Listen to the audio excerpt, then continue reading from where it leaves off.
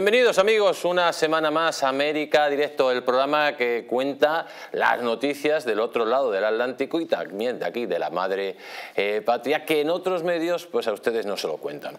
Y desde que hemos empezado América Directo pues nos estamos dando cuenta que no solo hay un Pedro Sánchez, sino que casi hay 17 Pedro Sánchez en el otro lado del Atlántico, concretamente en la zona de Iberoamérica.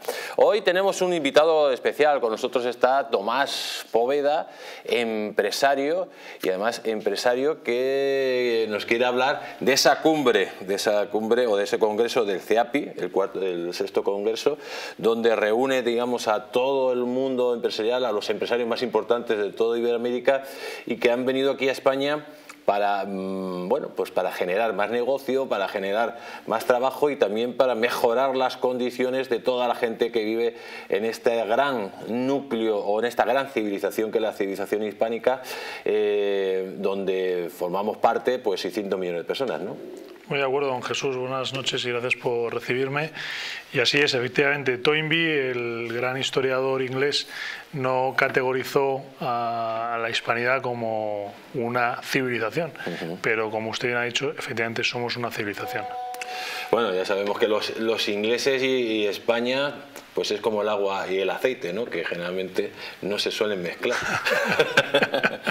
y amigos, el, agua y el aceite también es lo que le pasa a Petro con aquellos partidos conservadores.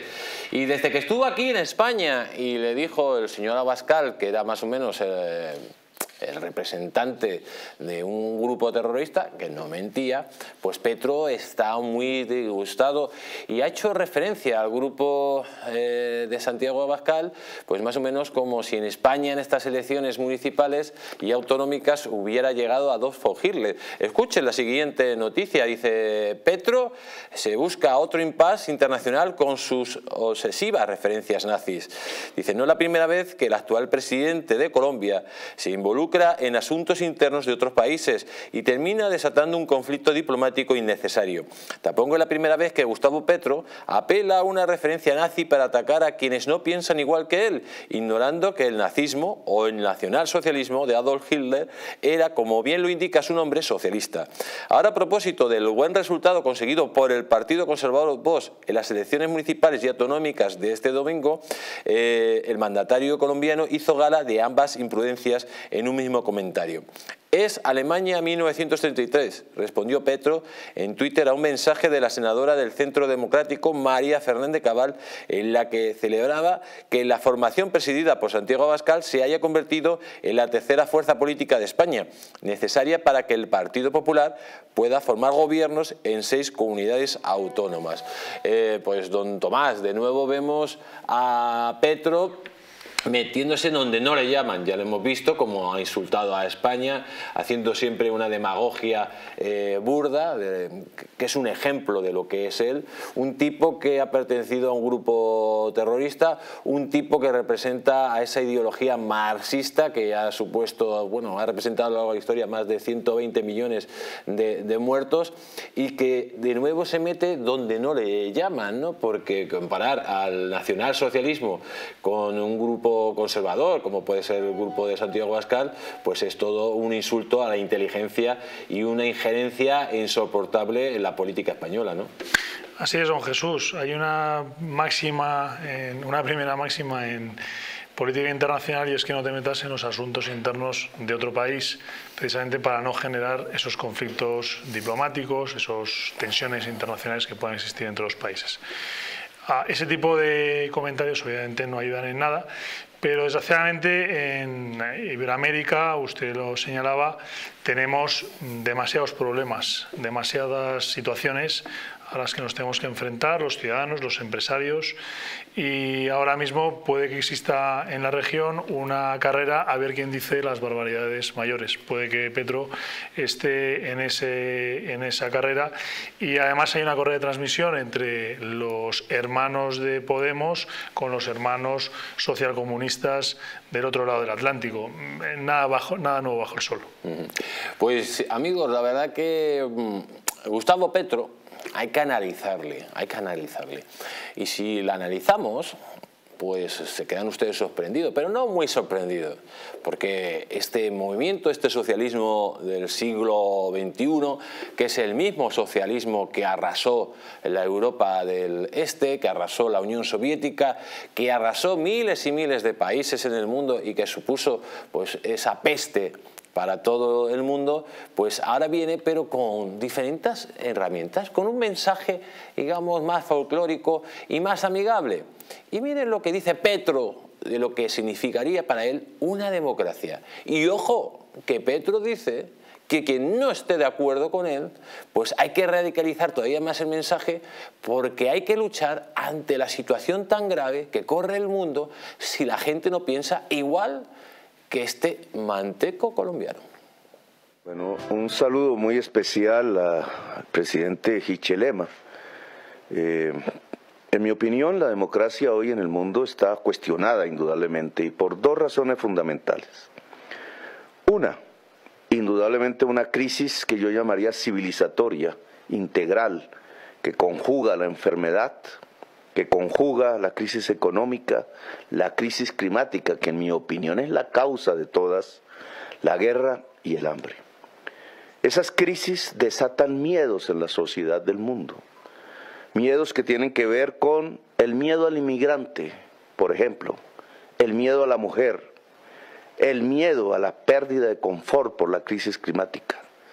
Estos miedos hacen que partes sustanciales de la sociedad abandonen el proyecto democrático en numerosos países del mundo, que se amplíe el peligro de un 1933 global. 1933 fue el año en que los nazis ascendieron al poder. Ante este desafío, en mi opinión, el proyecto democrático debe radicalizarse, debe profundizarse. Y implicaría cinco aspectos. Pues la verdad, amigos, que no vamos a escuchar los cinco aspectos de, Petro, porque ya escucharle y decir que la culpa de las guerras es de la crisis climática, pero qué sandez puede decir este hombre. Y luego, lógicamente, otras cosas como que no hay que tener miedo a la inmigración. Pues, hombre, eh, yo creo que no se tiene miedo a la inmigración. Sobre todo cuando en España hay más inmigración que nunca, o en, Colombia ha sufrido más inmigración que nunca porque ha habido una diáspora de Venezuela, sin ni siquiera haber una guerra, se han tenido que ir de ahí hasta el apuntador. Y luego dice, no, las mujeres, las mujeres. señor don Tomás Poveda, eh, yo creo que es que las, las democracias liberales ya tienen muy avanzado los derechos de las mujeres, los derechos de los hombres, y no va a venir este tipo que viene de esa ideología que es un auténtico cáncer para la humanidad, a mm, enseñar a las mujeres cuáles son sus derechos o no sus derechos. Y sobre todo todo mezclado con la crisis climática. Porque es que me parece que esto es como la película de 1912, que se va a acabar el mundo. Y si no le hacemos caso a Petro, se acaba el mundo. Es, que es, increíble. La dictadura verde la quieren utilizar ahora como la dictadura, eh, supuestamente esa lucha de clases de Lenin y, Marx, ¿no? Pero ahora con, con nuevos elementos para utilizar ese juego macabro que utiliza siempre la ultraizquierda. Sí, la verdad es que eh, es eh, bastante irónico que la izquierda hable del medio ambiente, que hable del clima, con las auténticas barbaridades que se han perpetrado contra el medio ambiente en el mundo comunista. Por ejemplo, en China. o por ejemplo, Chernobyl, que fue la gran catástrofe nuclear que sufrimos a las puertas de, de lo que es hoy la Unión Europea. Y me detengo en una frase que ha dicho el presidente Pedro, ha dicho pérdida de confort. En pérdida de confort, bueno, en, desgraciadamente en Iberoamérica hay demasiada gente que no tiene confort. Por tanto, un gobernante lo que tiene que hacer y un líder empresarial también tiene que preocuparse por el lugar donde, de donde está, por supuesto. Para eso se elige a los gobernantes para que solucionen problemas. Los problemas que tiene Colombia, como los problemas que tienen el resto de países de la región, son muy importantes socialmente. Entonces, eh, menos discursos, a mi modo de ver, y más eh, trabajo real, más profundizado en esas cuestiones del día a día que están afectando, en este caso, a los colombianos, para que precisamente esa pérdida de confort se, eh, se torne en una mayor confort y, por tanto, una mayor calidad de vida. Pues amigos, la verdad que ustedes escuchan a Petro y todo les recuerda Agenda 2030. Eh, ¿Quién está detrás de la Agenda 2030? Pues están tipos como Soros y es que ya, ya hemos detectado la conexión entre Soros y Petro y atención, y esa iluminada que se llama Francia Márquez. Atención, porque es que si nosotros tenemos a Belarra y Montero, Colombia tiene a Francia Márquez una señora que, bueno, cada cierto tiempo sus dos neuronas chocan y dice alguna palabra que tiene que ver con la realidad pero el resto del tiempo lo que habla es un auténtico insulto a la inteligencia. Escuchen la siguiente noticia. ¿Qué hace la fundación de George Soros que financió el viaje de Francia Márquez a África? Eh, Open Society fue fundada por el filántropo George Soros con, con su hijo Alexander Soros. Y además estos se reunieron en Washington con Gustavo Petro y el embajador de los Estados Unidos Luis Gilberto Murillo. El pasado 24 de mayo, Francia Márquez que entregó un informe sobre los logros de su viaje a Sudáfrica, Kenia y Etiopía. La vicepresidente presentó los acuerdos alcanzados y dio detalles del financiamiento de la gira a la que asistieron unas 22 personas entre empresarios, artistas y líderes afro.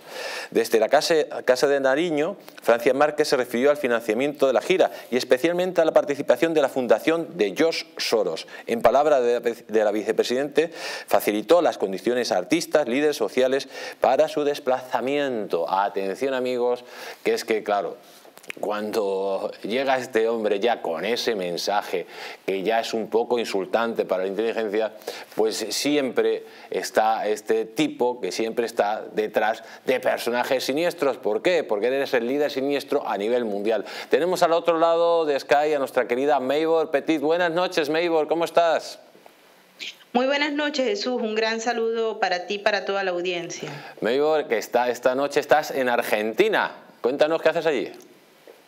Así es, estamos en Argentina, vinimos a mm, participar en una serie de conferencias de restablecimiento y discusión sobre los daños que hace el socialismo del siglo XXI, estos modelos autoritarios que acaban con los sistemas y vamos a poner como ejemplo no solamente el caso venezolano, sino también lo que está alrededor de Venezuela.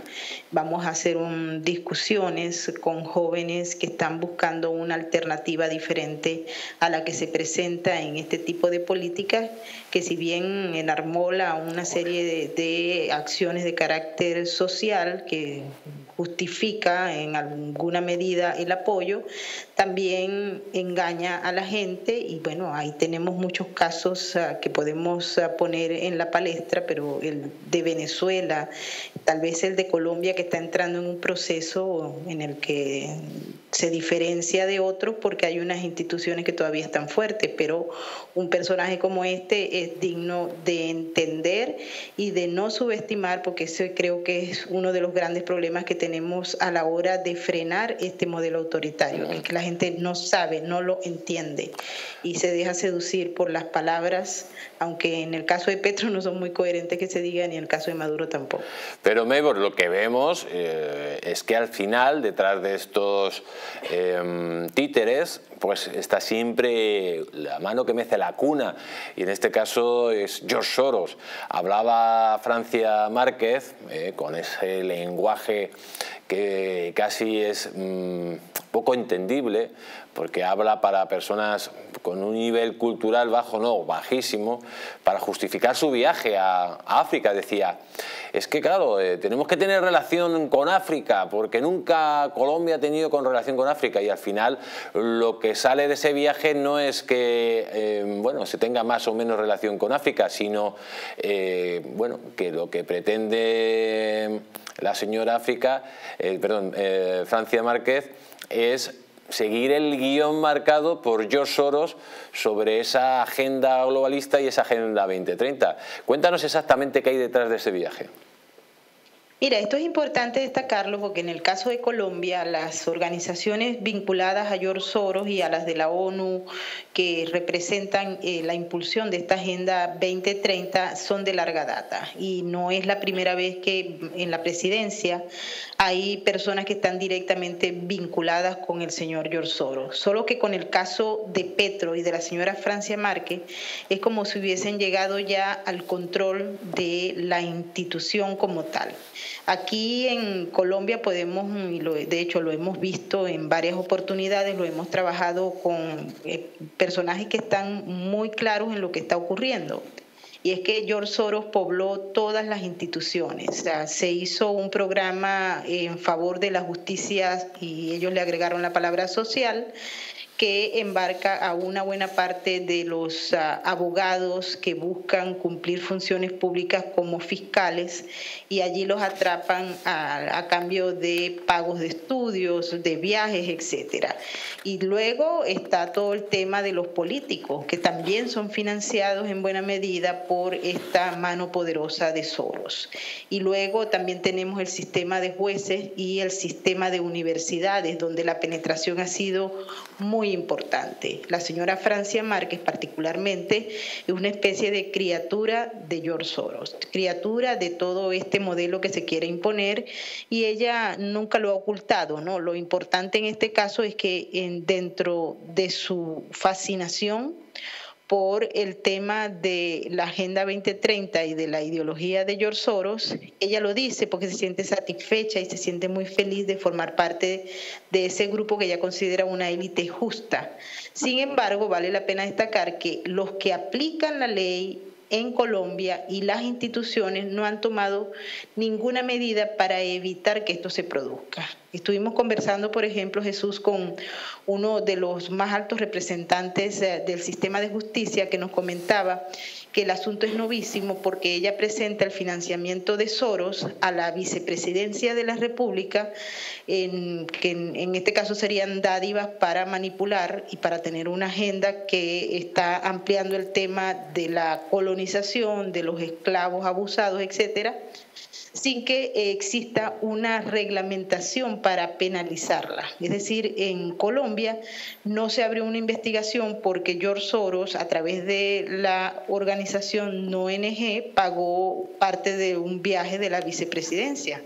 Eso en cualquier otro país donde hubiesen instituciones fuertes sería un escándalo, pero en el caso de Colombia no va a haber ningún tipo de castigo, por tanto esto es impune. Y cuando hay impunidad se empuja aún más, así que no nos debería extrañar que en el caso de Gustavo Petro también George Soros empezaría a pagar los viajes, ¿no? Esto es un escándalo.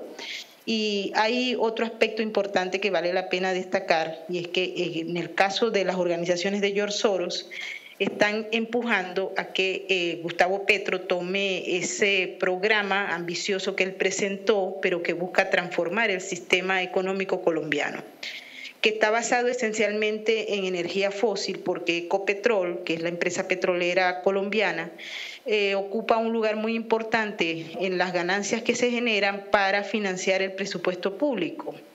Eh, George Soros no está de acuerdo con los, ah, las energías fósiles desde el punto de vista narrativo. Él quiere lanzarlo todo a la parte de políticas que tienen que ver con energía verde. En el caso de Colombia eso no puede ser porque el presupuesto está ajustado a las energías fósiles y es muy difícil proceder con una transformación de un lado a otro. Eh, uno porque no hay fondos, dos porque definitivamente Colombia no está preparada para esto y tres porque son unos pocos los que se van a beneficiar de este gran negocio, así como está ocurriendo en muchos otros países, incluyendo los mismos Estados Unidos. Así es que te podría decir en síntesis que el tema de la señora Francia es un tema que nos revela la enorme influencia que tienen todas estas organizaciones vinculadas a George Soros a la toma del poder y las decisiones públicas. Y esto es muy grave. Y tristemente no pasa solamente en Colombia, pasa también en Ecuador y en muchos otros países de la región, donde ellos han sembrado y en estos momentos cosechado todo el nivel de influencia que han pagado con dinero proveniente todavía, nadie sabe de dónde, pero hay muchas personas que dicen que los fondos que se están virtiendo para transformar a los países y convertirlos en lo que George Soros quiere, no puede ser eh, de, carácter legítimo. Pues Maybor, muchísimas gracias por haber estado esta noche con nosotros y como siempre recibe un gran abrazo. Un placer siempre y un gran saludo a toda la audiencia y al equipo. Y amigos, vamos ahora con Ainhoa Martínez que nos va a traer las últimas noticias de Hispanoamérica. Buenas noches Jesús. Comenzamos con Nicaragua, donde un hombre vivió este momento tan angustioso. El conductor quiso cruzar por una vía inundada en una camioneta Toyota todoterreno, como veis en las imágenes, pero las fuertes corrientes arrastraron al vehículo y lo llevaron hasta un cauce donde el hombre tuvo que saltar para salvar su vida. Después de saltar, los bomberos y policías intentaron asistir al hombre, pero finalmente se confirmó que perdió la vida. Seguimos con Estados Unidos, donde un total de 14 personas han resultado heridas tras un accidente en Brooklyn, en el que seis vehículos resultaron involucrados, incluido un autobús. Una mujer de 23 años ha sido detenida en el lugar de los hechos y acusada de conducir sin licencia y tener una placa falsa. Terminamos con México, donde las autoridades mexicanas rescatan a 175 personas migrantes extranjeras que viajaban en la caja de un tractocamión en Chiapas. Los agentes federales de migración escucharon gritos y golpes en el interior después de marcarle el alto al conductor. El conductor de la unidad fue puesto a disposición de las autoridades correspondientes para las investigaciones necesarias. Pues amigos, ahí tenemos las últimas noticias que nos ha traído Ainhoa Martínez. Nos vamos un instante a publicidad y volvemos, pero no se vayan porque vamos a volver con las elecciones en Ecuador. Esas elecciones que también ponen al país eh, iberoamericano al límite y sobre todo con ese acuerdo entre demócratas y republicanos en Estados Unidos que ha salvado de entrar en un auténtico colapso a los Estados Unidos de América. Todo esto después de unos minutos de publicidad.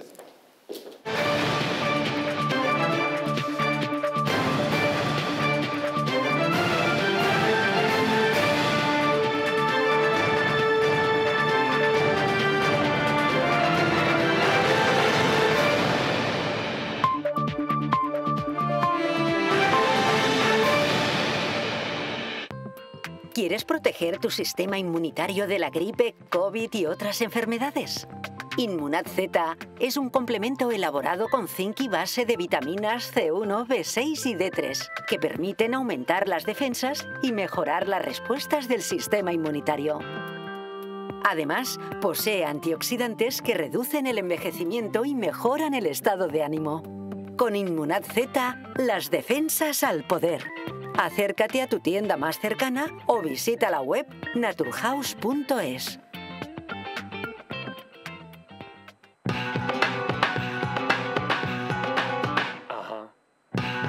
Alexandra de V te descubre la moda que te hace sentir orgulloso de tener sangre española.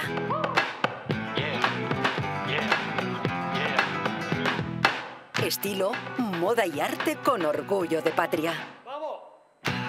Visita la web alexandradev.com. Una noche larga de fiesta con los amigos. Has terminado cansado y con una copa de más. Ahora en exclusiva en Naturhaus, Staff Detox. El remedio que acaba con esas resacas eternas del día siguiente. Acércate a tu tienda más cercana o visita naturhaus.es. La presencia del colágeno en la composición de huesos, piel, ligamentos, cartílagos y tendones es imprescindible para frenar su deterioro. Sin embargo, a medida que envejecemos, su producción se reduce. Colacel Antiox de Mundo Natural combina en una misma toma colágeno hidrolizado puro, antioxidantes, ácido hialurónico y vitamina C que contribuye a la formación normal de colágeno. Haz del tiempo tu gran aliado. Colacel Antiox.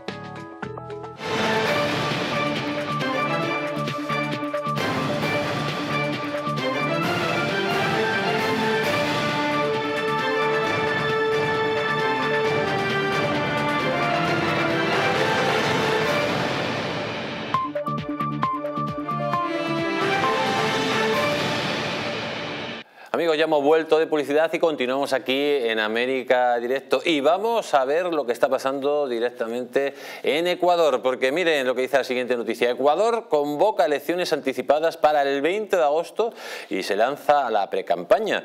El Consejo Electoral Ecuatoriano convocó oficialmente las elecciones presidenciales y legislativas anticipadas para el próximo 20 de agosto. Los ajustados tiempos han hecho correr a la autoridad electoral que debe desarrollar los comicios en 90 días cuando normalmente se tomaría un año. También los partidos y movimientos políticos tienen prisa y están a la búsqueda de candidatos y algunos candidatos a la búsqueda de partido. Es un escenario atípico al que se refirió el presidente ecuatoriano Guillermo Lasso cuando aseguró que el decreto de muerte cruzada que firmó hace una semana cuenta con la aprobación de más del 80% de los ecuatorianos. Pues amigos, la verdad que al señor Lasso no le han dejado gobernar mucho. Es verdad que tenía que haber tomado medidas más contundentes, pero claro, el cárter de Puebla le ha metido pues ese crimen organizado en Ecuador que ha creado, señor eh, Poveda, una auténtica desestabilización del país.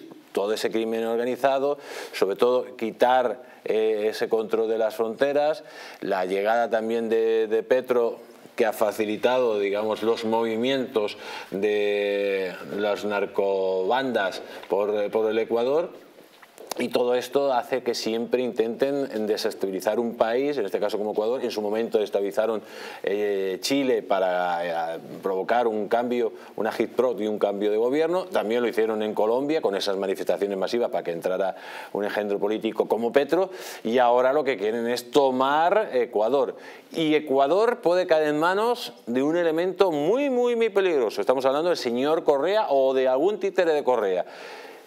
Y estos si toman de nuevo el poder, va a ser para quedarse para siempre como hizo Maduro, porque ya han aprendido de que el, comunismo no se va del poder si no es por las malas, ¿no? Así es un buen presidente que no lo han dejado gobernar, lo tienen muy complicado y además eh, vuelve a la inestabilidad a un país como Ecuador y, que en estas elecciones lo que se va a dirimir además es eh, un, un candidato que el que sea elegido va a estar poco tiempo, va a estar un año y medio. Tiene que culminar lo que debería haber terminado el mandato de Lasso. Por tanto, inestabilidad para un país que, como decíamos antes... ¿No crees que eh, Lasso ha sido un poco eh, la que tenía que haber sido más contundente? en, su medida, que la pasa un poco como a Piñera en, Chile. Bueno, lo que pasa es que Lasso... Uh, o el presidente de, Colombia en su momento. O sea que, eh, digamos, el centro derecha tiene que ser más contundente porque no se enfrenta a una socialdemocracia normal, como puede pasar en nuestros países de Europa, sino ante un movimiento que está muy relacionado con un eje criminal que está en Venezuela y que lo que pretenden es crear los estados eh, marxistas de, de América. ¿no? Depende también de los apoyos que tengan en el Congreso y, en ese caso ah, el presidente Lasso no los ha tenido y por tanto han hecho del país ingobernable. A pesar de los planes que tenía de desarrollo como buen empresario de éxito que quería darle una oportunidad para, reformar el país y, darles también esas oportunidades a sus conciudadanos. No le han dejado porque, como usted bien decía, ellos saben que tienen que ocupar todos los espacios de poder ah, con gente de mayor o menor formación, eh, de esto podríamos eh, debatir en alguna ocasión, pero sin duda lo que han hecho es que eh, el, plan que tenía el presidente Lasso, que he tenido la oportunidad de conocer en algún momento, no se llegue a la práctica y que vuelvan a colonizar un país como Ecuador y que existan cada vez menos reductos en Iberoamérica, en Hispanoamérica, de países que puedan asemejarse en sus democracias a las nuestras. Pues amigos, vamos a continuar y vamos a continuar con los Estados Unidos de América y sobre todo con esa noticia que ha salvado al país de un auténtico eh, desastre económico y que ese desastre hubiera llevado al caos al resto del mundo y es los impagos de la nación más poderosa del planeta Tierra. Concretamente dicen que Biden y McCarthy alcanzan un acuerdo sobre el techo de deuda para evitar el impago en Estados Unidos, amigos. Dice, tras semanas de negociaciones, Estados Unidos podría evitar el impago de la deuda si el Congreso aprueba el principio de acuerdo al que han llegado el presidente Joseph Biden con el presidente de la Cámara de Representantes, el republicano Kevin McCarthy. El pacto no gusta a los sectores más radicales de ambos partidos, pero llega tiempo de eh, esquivar un colapso económico. Evita lo que podría haber sido un impago catastrófico. En palabras de Biden, el acuerdo deja en suspenso el techo de deuda de 31,38 billones de dólares, lo que permite al gobierno federal lograr financiación y seguir cumpliendo sus obligaciones de pago. La secretaria del Tesoro, Janet Yellen, ha advertido de que la semana que viene ya no tendría dinero suficiente para afrontar los pagos previstos, así que es necesario que el Congreso apruebe el acuerdo la semana entrante. El pacto ha sido anunciado el pasado sábado por McCarthy en un tuit. Pues eh, amigos, la verdad que de la que nos hemos salvado. Fíjense ustedes dónde nos podría haber llevado la momia Biden. Nos podría haber llevado a un auténtico desastre por ese gasto desorbitado que eh, se está produciendo en los Estados Unidos. Y sobre todo porque todos sabemos, eh, señor Poveda, que las políticas del Partido Demócrata pues son eh, políticas que hacen que el gasto se desborde, que son políticas además muy agresivas desde el punto de vista militar, porque por ejemplo con Donald Trump no se declaró ninguna guerra, la primera vez en la historia de Estados Unidos que un presidente no declara una guerra, mientras que por ejemplo el señor Biden ha tenido una postura muy belicista en diferentes lugares del mundo. ¿no?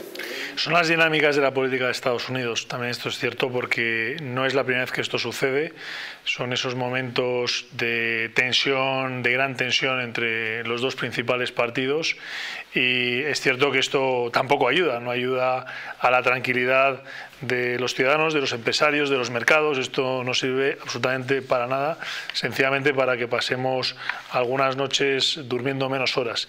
Y, esto no puede ser. Estas dinámicas, a mi modo de ver, tienen que terminarse. Y por otro lado, eh, una reflexión sobre las finanzas sostenibles. Necesitamos en los países occidentales, Unión Europea, Norteamérica, finanzas sostenibles.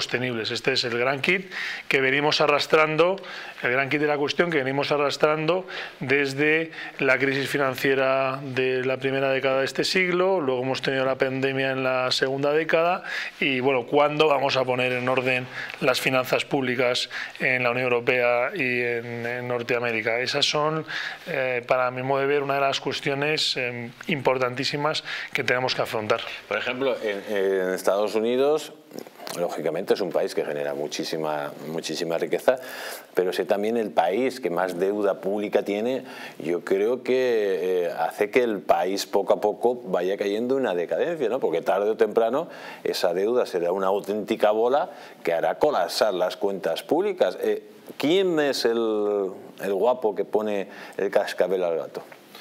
Esto se tiene que ordenar porque llega un momento y hablamos de Estados Unidos y como decía antes menciono a la Unión Europea. Estamos en escenarios que se van asemejando y como, como es lógico, pues una familia, una empresa, un Estado debe tener unas finanzas controladas y sostenibles y no puede ser que los gastos sean siempre superiores a los ingresos.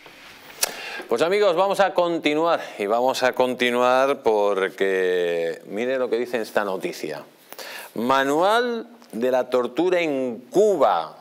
Le tiraron los perros para que le agredieran. Ahí lo tienen ustedes. Dice, cuando le conducían a la antigua prisión de SIDA en San José, le golpearon tres guardias mujeres.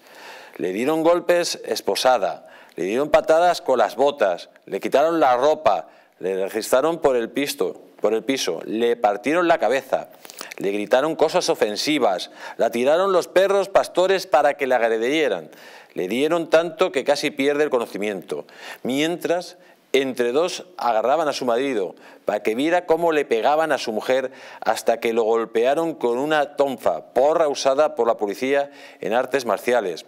Es el caso de Janet Sánchez Cocho eh, y lo recopila en los 181 informes que han salido a la luz pública y que hablan de la tortura en Cuba y se hace a través de una investigación realizada por prisioneros o defensa de prisioneros, amigos. La verdad que lo que pasa en Cuba parece que ya lo tenemos por acostumbrado. Eh, Cuba sufre una tortura desde hace más de 60 años, desde que llegaron los comunistas. Una tortura que ha recibido toda la población. Y unos más que otros, pues ya sabemos cómo son estos regímenes totalitarios, que por cierto hay partidos como Petro, en vez de hablar, en vez de hablar de ese cambio, supuesto cambio, de alerta climática que no existe, podía hablar, por ejemplo, de lo que pasa en Cuba y de cómo la gente sufre hambre y necesidades y no irse a elementos banales. Pero no, aquí lo importante es tapar las vergüenzas del marxismo e inventarse problemas donde no, donde no las hay para engañar a la población. Cuba ¿Cuándo va a haber una respuesta internacional de, hacia Cuba para salvar a un pueblo que se muere de hambre, que muere la miseria y además que es torturado hasta extremos eh, inimaginables como hemos relatado en esta noticia? ¿Cuándo Estados Unidos, cuándo la Unión Europea, cuándo Hispanoamérica dirá hasta aquí se acabó el calvario del pueblo cubano? Bueno, lo que ha contado esta noticia es comunismo en estado puro. Una gran cárcel, una maravillosa isla, pero que lleva sometida ya casi 70 años a esta dictadura y a esta tortura permanente y efectivamente ese es uno de los grandes eh, interrogantes en la política internacional, en la política de Iberoamérica. ¿Cuándo vamos a ver en Cuba eh, respetos mínimos a los derechos humanos. Eh, parece que desgraciadamente en la región el modelo cubano no lejos de terminarse, sino que se está extendiendo por lo que hemos comentado a lo largo del programa. Pues amigos, si ustedes quieren ver cómo los propios cubanos relatan en esa miseria absoluta que le tiene introducido el marxismo desde tantos años y luego hablan de la sanidad cubana, pero si no tienen ni para tiritas, amigos si no tienen ni para colchones para una, para una cama, y van a presumir de la sanidad cubana. Por cierto, Fidel Castro fue tratado en la sanidad española y con médicos españoles. ¿Por qué? Porque los matasanos de La Habana, amigos, ya, pues lógicamente no tienen ni los recursos ni la formación adecuada respecto al mundo libre donde están la mejor medicina y los mejores médicos. Quiero que escuchen todos ustedes para que se conciencien de cómo viven los cubanos, en este relato de un cubano que no quiere morir de hambre y grita al mundo, grita al mundo, comida y libertad. ¿Escribiste qué más quieres poner? Bueno, ahora mismo yo tengo un hambre que me estoy muriendo. Yo no tengo comida aquí en la casa. El dinero que tenía lo gasté comprando boniato, comprando porquería que no alimentan, que, que lo gasto en un momento. Y tengo un hambre terrible, terrible. Y no te pongo a mi familia porque todo el mundo tiene miedo todo el mundo tiene pena salir en video por temor a lo que va a pasar por decir que tenemos hambre. Yo creo que el único país del mundo que a la gente la critican por tener hambre es este. Ok, yo voy a hablar por mi familia tenemos hambre, y no hambre de hoy, hambre de varios días, que ya yo no sé qué hacer, que ya no tengo de dónde inventar, que no puedo salir a robar, porque no puedo, porque no está en mí. Si una vez en la vida robé, me arrepiento. Ya hoy no robo, porque desgraciadamente, aunque tenga hambre, no puedo hacerlo, porque mi vida ha cambiado mucho, pero tengo hambre, mucha hambre, y hambre que no es hoy sábado, dime tú mañana domingo, tendré más hambre, ¿qué hago? ¿Qué vendo? ¿De dónde la busco? Esto no es fácil. Ya he gastado en el mes de hoy más de 6 mil pesos y miren a cómo estamos. Y es en comida. En comida se me ha ido todo. Todo se me ha ido en comida. Bueno, disculpen. Amigo, este es el grito de un hermano que se muere de hambre por los gobiernos marxistas que han destruido la perla del Caribe, que es Cuba. Y esos gobiernos marxistas destrozaron Venezuela. Y esos gobiernos marxistas quieren destrozar Colombia, quieren destrozar Chile, quieren destrozar México. y ahora también Ecuador. Y en ustedes, amigos hispanoamericanos, hermanos, depende de que la peste no se extienda más por nuestra querida Hispanoamérica. Tenemos al otro lado de Sky a nuestro querido Hugo Hacha.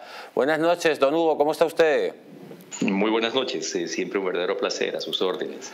Don Hugo, em, bueno, vemos cómo Cuba eh, nos hemos acostumbrado a que la gente viva en condiciones miserables, vemos cómo la gente tiene que huir, jugarse la vida, y así también, incluso enfrentarse a los tiburones, pero sin embargo no vemos que haya una respuesta internacional seria para acabar con esos regímenes de terror, de miseria, que matan a su población tanto eh, espiritualmente como desde el punto de vista alimenticio. ¿Cree usted que Cuba tiene alguna solución? ¿Cree usted que se puede parar a esas hordas bolivarianas, a esas hordas marxistas y que Hispanoamérica y el mundo entero pues eh, acabe con esa lacra que es el socialismo del siglo XXI? Bueno, pues eh, esos son dos interrogantes separados. Eh, si Cuba tiene una solución, pues sí, tiene la solución en una transición a la democracia y con una justicia transicional que evite la impunidad de los miembros del régimen que se ha transformado en nada más y nada menos que una organización de crimen transnacional organizado que oprime, tortura, mata al pueblo cubano. El, el segundo interrogante, ¿cómo lidiamos con esta ola de gobiernos, de organizaciones, de personas que deberían tener una mayor responsabilidad, no solamente por una cuestión política, por una cuestión de decencia mínima. Ese es otro interrogante. ¿Cómo puede Lula da Silva decir que siete millones y medio de venezolanos eh, huyendo de la salvaje situación que ha creado eh, Maduro y Chávez en, en, su país, cómo puede decir que ocho mil refugiados en el Brasil, dos mil víctimas de tortura documentadas por el fiscal de la Corte Penal Internacional son una narrativa. ¿Cómo puede el señor Josep Borrell guardar silencio cuando mientras él está allí el régimen admite abiertamente, como lo denuncia la ONG Prisoners Defenders, 39 menores de edad sentenciados por delitos que están prohibidos de ser considerados como tales por las Naciones Unidas? Ese es otro interrogante que creo yo eh, tenemos que contestar a ambos lados del Atlántico en buena medida creo yo que lo ha contestado el pueblo español en las últimas elecciones y espero que en un futuro cercano Argentina siga eh, la línea de lo que hoy día es Uruguay o Paraguay y vaya encaminándose nuevamente en una coherencia política frente a lo que está sucediendo en Cuba y se pueda ayudar al pueblo cubano. Eh, pues mire, eh, quiero ya enlazar lo que usted ha dicho con la siguiente noticia, porque Lula eh, que ha recibido a Maduro en esta cumbre hispanoamericana que se está celebrando ahora, dice que sobre Venezuela hay muchos prejuicios. A ver si nos ponen la noticia los compañeros. Dicen que hay muchos prejuicios sobre Venezuela cuando en Venezuela uno de los países más ricos de Sudamérica lo han triturado, lo han masacrado y lo han matado de hambre. Ahí tenemos la noticia, amigos. Eh, Lula recibe a Maduro y lo que quiere prácticamente es blanquear a Maduro. ¿Cómo se puede coger y ahora Maduro, que era el apestado del mundo, cómo quieren ahora pues ese cártel de Puebla rehabilitar la figura de un genocida que ha matado a su pueblo con las armas y de hambre y en la miseria. ¿Cómo es posible que ahora se dé ese giro de 180 eh, grados por parte de personajes, claro, tan siniestros como Lula, que ganó las elecciones de la forma que la ganó, claro? Bueno, vea, yo creo que la, mejor respuesta la ha dado el señor eh, Lacalle Pou. El presidente del Uruguay le ha dado una lección de balance, equilibrio y coherencia frente a lo que es verdaderamente importante. Porque él mismo lo, dice, si usted ve la respuesta de la calle Pou a Lula, que tiene una reunión posterior casi inmediata a, recibir a, Maduro, y, le dice, eh, presidente, eh, el Uruguay tiene embajada en países tan problemáticos como Cuba, pero no por eso deja de decir con todas las letras que lo que gobierna Cuba es un régimen y que el gobierno del Uruguay está al lado del pueblo cubano. No por eso se tiene que blanquear la situación. El señor Nicolás Maduro Moros es una persona, y esto es oficial, no es especulativo, que está requerido por la Agencia Antinarcóticos de los Estados Unidos y un tribunal federal norteamericano por tráfico de estupefacientes. Tiene una recompensa de 15 millones de dólares sobre su cabeza. Diputados brasileños efectuaron una comunicación al Departamento de Estado cuando el señor Maduro arribó en tierras brasileras.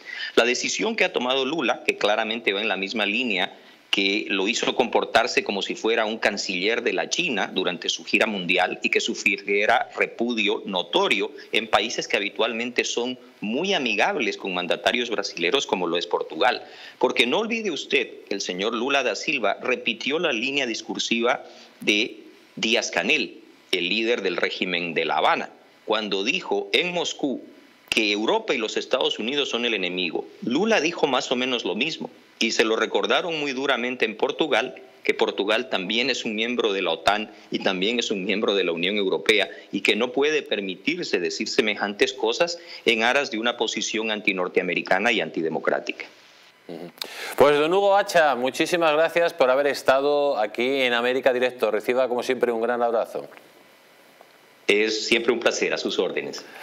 Y amigos, vamos a continuar con esta cumbre porque Hablábamos de que Lula quiere blanquear a Maduro, pero claro, luego están los, los lacayos, los cipayos de, de, Lula y Maduro, todos esos que forman parte del crimen organizado y que han tomado el poder de la forma que han tomado el poder y que lo han pretendido hacer lo mismo en esos países que hizo el señor Chávez, reformar la Constitución.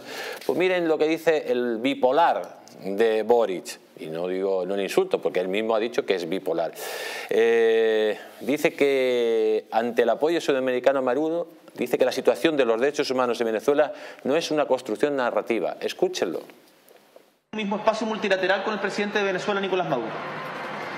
Y que la verdad nos alegra que Venezuela retorne a las instancias multilaterales, porque creemos que en estos espacios es donde se resuelven los problemas y no con declaraciones en donde solamente nos atacamos los unos a los otros. Eso, sin embargo, no puede significar meter debajo de la alfombra o hacer la vista gorda frente a temas que para nosotros son de principios e importantes. Y ahí yo manifesté respetuosamente que tenía una discrepancia con lo que señaló el presidente Lula el día de ayer, en el sentido en que la situación de derechos humanos en Venezuela era una construcción narrativa no es una construcción narrativa, es una realidad, es seria y he tenido la oportunidad de verla en los ojos y en el dolor de cientos de miles de venezolanos que hoy día están en nuestra patria y que exigen también una posición firme y clara respecto a que los derechos humanos deben ser respetados siempre y en todo lugar, independiente del color político del gobernante de turno. Y eso aplica para todos nosotros. Y eso desde nuestro punto de vista, como gobierno chileno y en particular yo como presidente, como un presidente de izquierda, creo que era importante manifestarlo de frente a Nicolás Maduro en esta primera oportunidad que teníamos de encontrarnos. También dijimos muy claramente que las sanciones que se imponen a los pueblos no debilitan a los gobernantes, dañan a los pueblos. Pues ahí tenemos a Boric, amigos, que la verdad que ha hecho una crítica al señor Lula da Silva, eh, muy buena crítica, pero claro, al final el señor Boric forma parte de ese eje bolivariano que pretende pues eh, hacer realidad lo que decía el Foro de Sao Paulo o el Cártel de Puebla, ¿no? que son esos Estados Unidos marxistas. Pero es verdad que ha hecho una crítica a Maduro, pero es que Maduro como tal no tendría que estar ahí, porque es un tipo que representa una narcodictadura, perseguido por narcotráfico y que bueno, eh, ha convertido su gobierno en un gobierno de sangre y de asesinatos. Esa cumbre de CELAC los países están representados por sus gobernantes y bueno, hoy en día eh, Nicolás Maduro es el presidente de Venezuela y acude a esa cumbre internacional de CELAC y las declaraciones del presidente Boric, la verdad es que son interesantes porque reforzar eh, de una manera como lo ha hecho eh, tranquila, oiga, señores, aquí está habiendo una violación de los derechos humanos sistemática desde hace ya décadas. Es importante y no solo ya, además de los derechos humanos, la situación ah, social y económica de Venezuela, de los venezolanos en Venezuela y de todos esos millones de venezolanos que desde hace ya más de cinco años han ido marchándose de su país porque no tienen las condiciones mínimas de vida. Hablaba el señor Petro de confort. Bueno, pues ningún tipo de confort puede existir en un país donde no hay derechos humanos, donde no se puede uno alimentar, donde no tiene trabajo y un gran largo, etcétera. Y además estamos viendo también en Venezuela, pues que ya, por ejemplo, aquí en España, la embajadora, el embajador de Maduro ha sido recibido por el rey, que Biden también ha cambiado muchísimo la postura con Venezuela eh, y ahora ya el blanqueamiento internacional, liderado también por un personaje siniestro donde los haya como el señor Zapatero, que es el embajador de esa narcodictadura. En realidad las, relaciones diplomáticas y las relaciones internacionales a veces nos podrán gustar más o menos los usos, pero son los que son en, algunos, algunas circunstancias un jefe de Estado cuando un determinado Estado nombra a un nuevo embajador eh, puede existir el protocolo de recibirle. No quiere decir que esté de acuerdo con lo que está pasando en ese país, ni mucho menos, pero sí que es cierto que la situación en la región, eh, lejos de mejorar, no tenemos una perspectiva de cuándo puede vislumbrarse un cambio. Y como hemos hablado en el programa, Ecuador, que era un país que estaba dentro de una órbita de racionabilidad en, en, cuanto a un gobierno como el de Lasso y bueno, como ya en estas elecciones a las que se ven abocados, pues van a ir probablemente a una eh, situación complicada, eh, tanto la política como los ciudadanos, que al final es de lo que se trata. ¿Cuál es el, qué, qué hacen los gobernantes por sus ciudadanos, también qué hacen los ciudadanos por su país, ¿verdad? Pero la situación realmente es compleja y bien, eh, lo que tenemos que seguir haciendo es trabajar eh, cada uno desde su ámbito, los empresarios desde el nuestro, tratando de tender puentes y de lograr que en algún momento las circunstancias cambien y obviamente ahí donde se pueda hacer eh, empresa, porque hay muchos lugares donde ni hay seguridad jurídica ni hay seguridad ciudadana y por tanto es muy difícil hacer crecer empresas. Pues eh, amigos, atención, hablando de empresas, y ya para terminar este programa que se nos ha pasado el tiempo rapidísimo, atención, porque siempre le hemos hablado de ese gran objetivo del Grupo de Puebla, del cártel de Puebla, que son los estados eh, soviéticos de Sudamérica. Y fíjese, fíjense la siguiente noticia, porque miren lo que dice Lula. Lula, propone construir una hoja de ruta de integración para América Latina en 120 días. Atención, que Lula quiere eh, que haya la unión de naciones sudamericanas o la creación de una moneda latinoamericana común. Si bien Lula ha destacado que la región ha avanzado en el buen camino en los últimos años, ha recordado que los países latinoamericanos han abandonado los canales de diálogo y los mecanismos de cooperación, mientras que grupos extremistas han aprovechado para utilizar las plataformas digitales con el objetivo de promover campañas de desinformación y discurso de odio. Pues se referiría mejor Lula a los grupos extremistas a Maduro, al que blanqueas, al que mata y saquea Venezuela, a su amigo Petro, que fue un narcoterrorista, a sus amigos de Cuba. Esos son los grupos extremistas, no, no. Se refería, amigos, a los grupos extremistas son aquellos que están en contra de que Brasil sea un país marxista. Pero lo peor de todo, señor Tomás, eh, eh, Tomás Poveda, estamos hablando de que esa idea de crear los estados soviéticos de Sudamérica la quieren plasmar ya urgentemente, imagínese usted con una moneda común, que sería ya el caos total, porque por ejemplo, eh, si vemos eh, lo que está pasando en Argentina o por ejemplo lo que está pasando en otros lugares, pues eh, sería una moneda que no tendría ningún tipo de estabilidad, pero ellos lo tienen claro. Ese eje del mal, ese eje criminal que parte de Venezuela, que parte de Cuba, extenderlo a toda Sudamérica para ser los amos y señores de una parte muy importante del mundo. Puede ser un deseo, pero no lo veo en ningún caso posible. Podrán avanzar en declaraciones retóricas, pero como usted bien explicaba, son eh, en fin, una serie de avances que implican una gran cantidad de, cuestiones y que no, no parece un escenario que pueda darse. Pues amigos, se nos ha pasado el tiempo volando, lo tenemos que dar eh, las gracias al señor Poveda por haber estado aquí en, el, en América Directo. Y a todos ustedes darles las gracias por haber estado eh, detrás del televisor. Y saben que la próxima semana nos vemos en este programa que trata sobre todo de romper los tabúes eh, informativos e informar en libertad para descubrir cómo el mal se desplaza por nuestra querida Hispanoamérica sin que nadie hasta ahora le ponga freno. Por eso ustedes son los guerreros de la libertad y los guerreros de la libertad tienen que luchar para evitar que el mal se extienda por el mundo. Hasta la próxima semana amigos.